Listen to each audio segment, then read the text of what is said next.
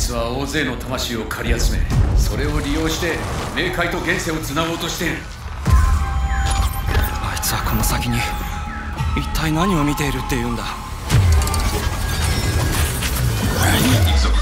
黄泉の国はまだ先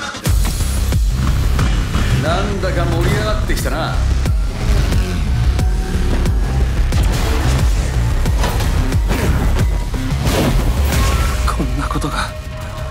れるはず。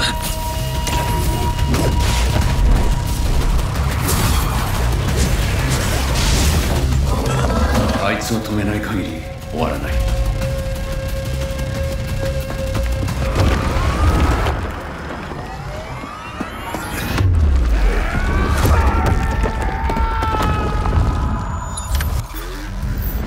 死んだのか。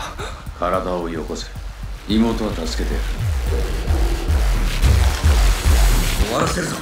アキト